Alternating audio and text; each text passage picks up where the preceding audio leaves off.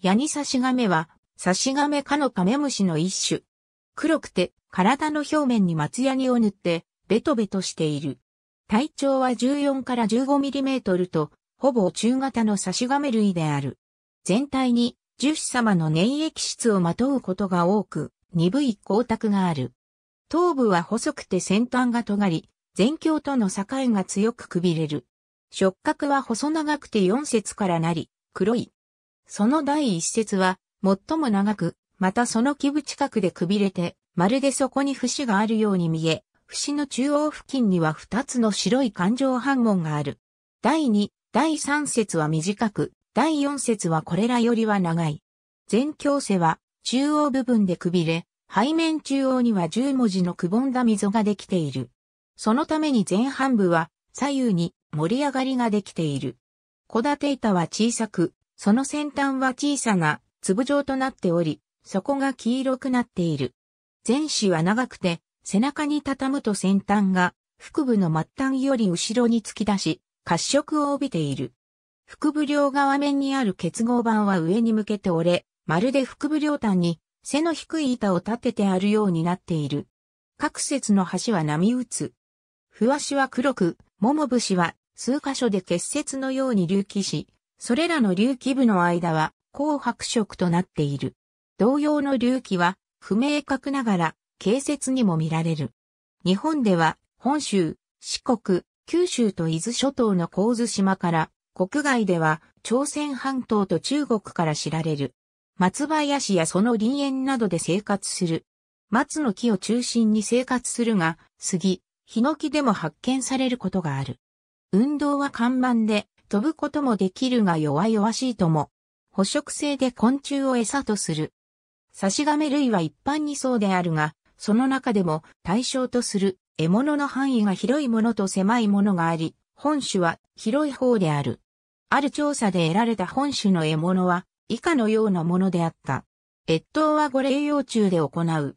夏季には松の木の高いところで幼虫は生活しているが、9から10月に5例となった幼虫は、気温の低下とともに次第に松の木の根元に集まり始める。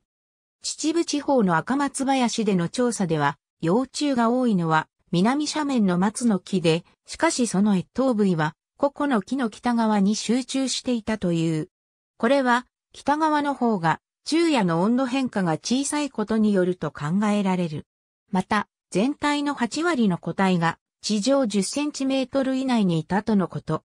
幼虫な口述のように粘液をまとっているので、それによって土や枯葉などを体にくっつけ、その上で集団を形成して越冬するものが多いという。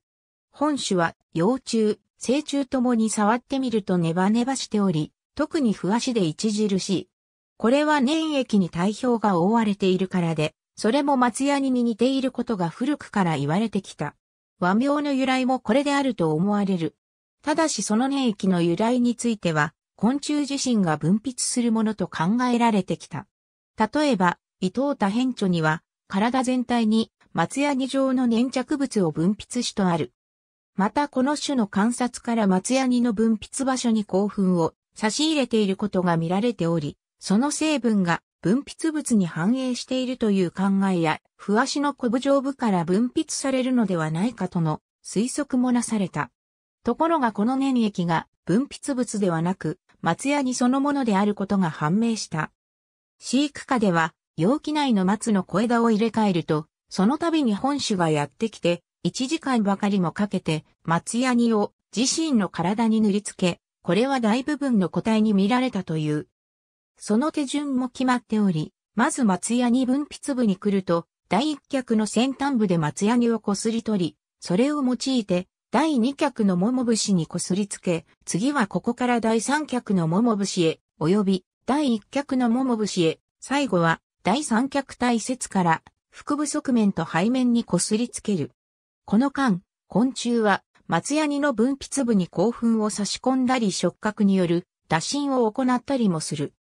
飼育下では、このような新鮮な松の小枝の供給を止めると、昆虫の体表の光沢が弱まり、それだけでなく、動きが弱まり餌も取らなくなり、次第に衰弱して死に至るといい、本種にとって必須のものであることがわかる。なお、本種がなぜ松ヤニを体にまとうのか、その意味や効用については明らかではない。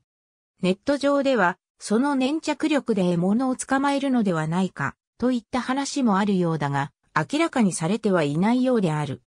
ヤニサシガメの所属するヤニサシガメ属には東アジア、東南アジアとマダガスカルから16種が知られるが、日本では本種のみである。印象として似ているものには同じモンシロサシガメアカに属するシマサシガメスファダナレステスインプレセコリスと横綱サシガメアグリオスファドーレスドーニーが挙げられる。いずれも黒白マダラで腹部がやや幅広くなっている。シマサシガメは、ふ足がほっそりしてデコボコでなく、まだら模様がくっきりしており、横綱サシガメは、やはりふ足がデコボコでなく、また、腹部の幅がとても広くなっている。